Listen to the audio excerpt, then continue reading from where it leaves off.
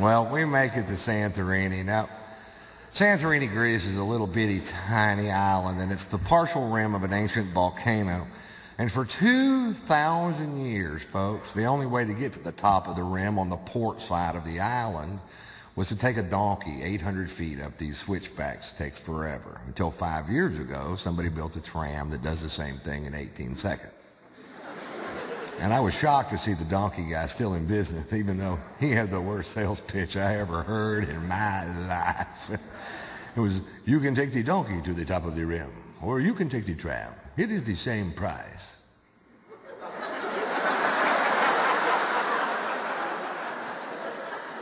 That would be my biggest secret if I were you, buddy. I'd start lying to people as soon as they got off the ship. The donkey is $3.50. The tram is around 2,800 euro. Shit, saddle me one up. Come on, honey, it'll be fun.